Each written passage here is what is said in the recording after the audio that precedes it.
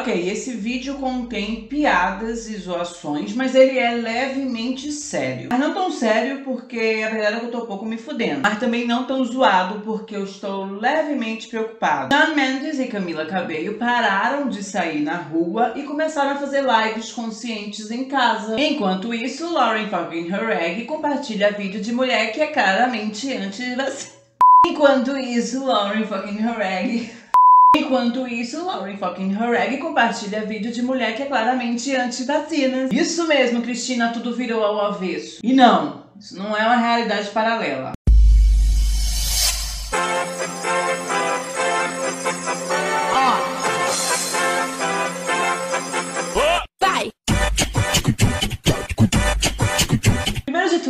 Colocar o pé no chão? O negócio do pé no chão, Luiz, vou pegar corona com o pé no chão. Vai não, amada. Coçar o chibio e cheirar, você sabe. Isso aí, você passa o negócio do corona por os dois orifícios. Não vai ser um pé no chão que vai fazer você pegar o corona. Bota o pé no chão, sai da bolha e vamos conversar sobre isso seríssimo. Seguinte, pra quem não sabe o que, que tá acontecendo. Ah, eu não sei o que tá acontecendo. Parei aqui porque eu vi a Lauren no, na thumb. Lauren fucking Horag compartilhou um vídeo de uma mulher falando lá por 9 minutos sobre vários temas. E um ali deles é sobre a antivacina, né? De, sabe o que é antivacina, né? Você não aceitar as vacinas. Você achar que vacina é que traz o problema, não que melhora o problema. A mulher, ela dá a entender que, por exemplo, o coronavírus, ele está sendo transmitido por vacinas, né? Pelo governo, uh, a vacina da gripe.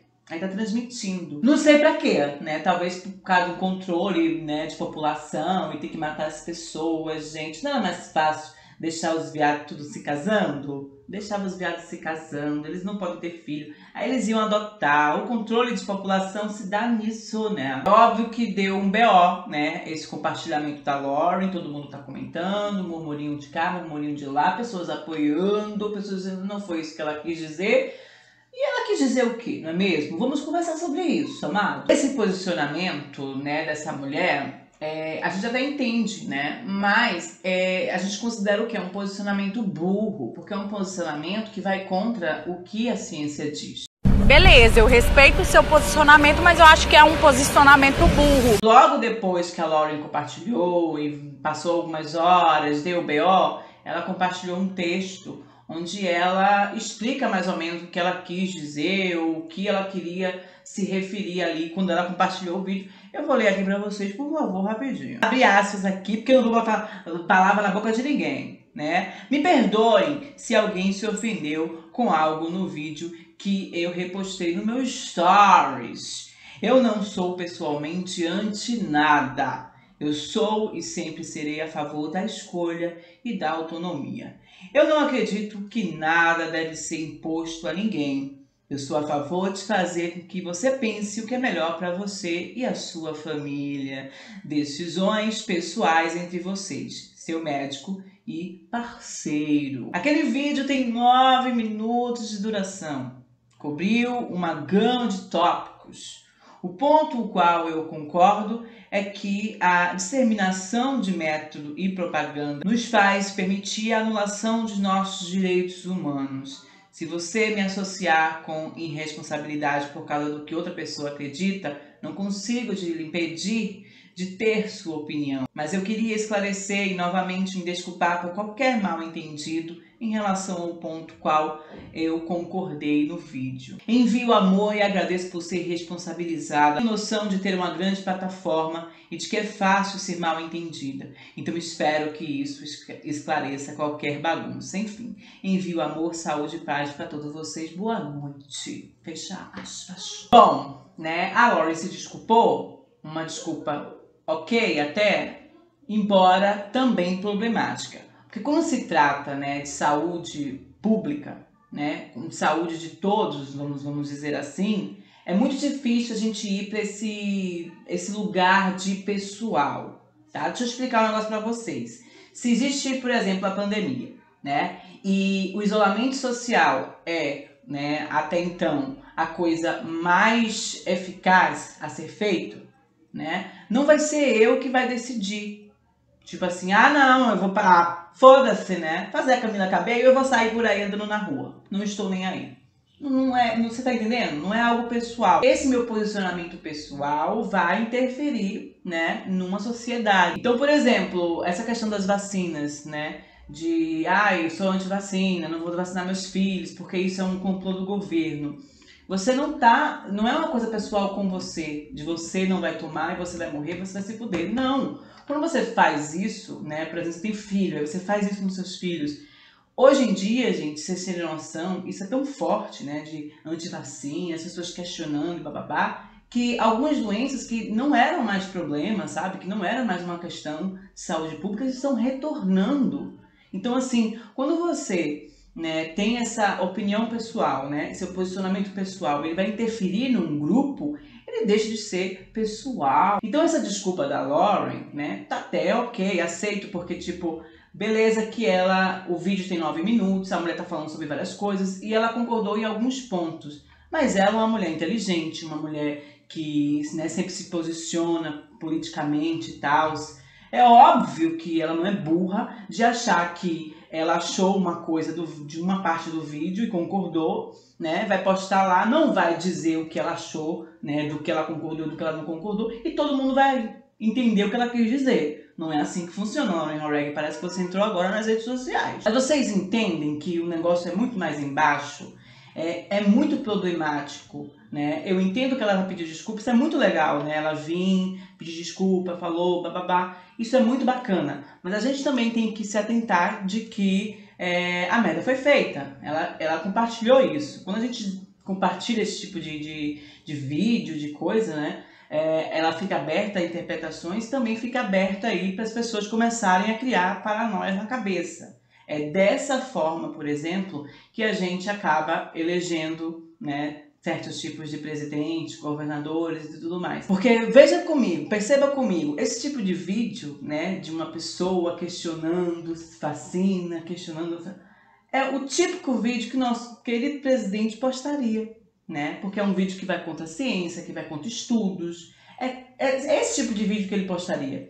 E a gente, qual seria a nossa reação diante de expor ele, esculhambar no Twitter, fazer hashtag? Não que eu tô dizendo que a gente deve fazer isso com a Lauren, porque ele é tão lunático que ele vai até o fim. Ela pelo menos chega, né, tem aí a humildade de chegar e dizer desculpa, pá, né? Eu entendo que as pessoas interpretam de várias formas e tal. Mas é esse o ponto, é esse o problema, é a gente cortar este mal pela raiz. Depois a gente quer uma série muito bacana para vocês, se chama Years and Years. É uma série de seis episódios e ela é sensacional. Ela mostra um futuro, né, nosso, né, como sociedade, tipo daqui a 15 anos, e de como essas pequenas coisinhas, sabe, essas ah, é minha opinião. Não, eu acredito que a Terra é plana. Não, bactéria não existe, sabe?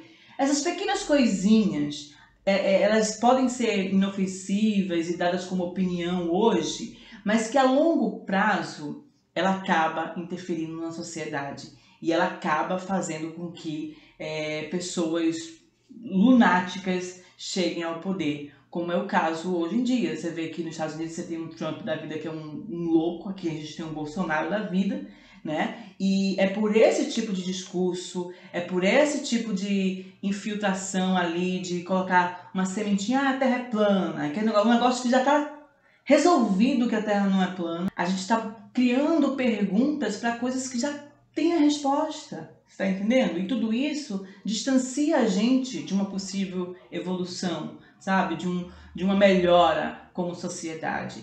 Então, a gente pode achar que é muito nocivo e muito pouco e muito pequeno, mas não é. E essa série, Years and Years, ela mostra muito isso. Se vocês tiverem a oportunidade de assistir, vocês vão entender bem do que eu estou falando. Na série, a gente só tem esse impacto e essa noção porque na série eles passam um ano muito rápido, né? Ele mostra as consequências muito rápido. Então você dá aquele porra, tá vendo? Se as pessoas tivessem né, questionado isso naquele tempo, se as pessoas não tivessem aceitado isso naquele tempo, a gente não estaria passando por isso agora. Então, Lauren, eu amo muito a Lauren, eu gosto muito dela como artista e eu é, acompanho os posicionamentos dela, são muito bacanas, mas não é uma questão pessoal. Eu acho que a gente tem sim que olhar para o todo, olhar para uma sociedade. A gente está agora num momento muito difícil e se a gente começar a olhar só para os nossos interesses, E aí? Ah, eu vou sair, Luiz, eu vou começar a sair pra rua, estou